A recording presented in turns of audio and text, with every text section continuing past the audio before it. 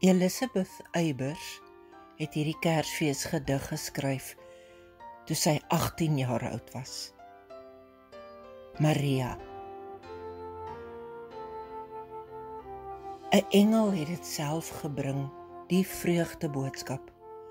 En jy het 'n lofsang tot God se eer gesing, Maria, nooi uit Nasaret. Maar toe Josef van jou wou skei en bure agterdog jou pla, het jy kon dink eenmal sou hy die hele wêreld skande dra.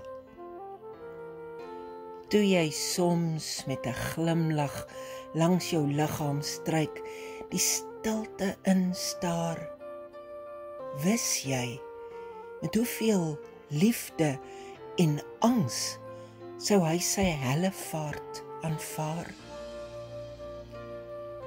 Die nag daar in die stal, geen een om in jou nood by jou te staan. Het jy geweet dat hy alleen Getsemane sou binne gaan? Toe vorste uit die ooste kom om nederige hulde te betoon, wis jy hoe die soldate hom tot koning van die volk sou kroon?